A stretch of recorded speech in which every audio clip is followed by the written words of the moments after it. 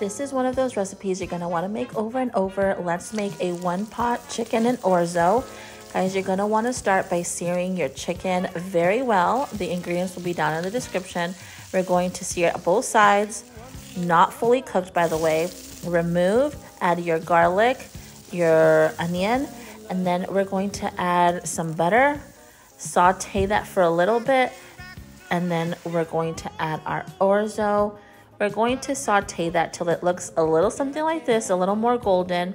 Adding some extra flavor of paprika, garlic powder, add your chicken, and add your chicken broth.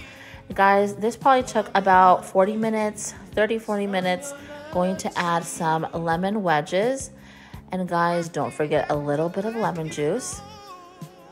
Every couple of minutes or so, I would come in, move that orzo so it doesn't stick to the pan Five minutes before it's over, I added my broccoli.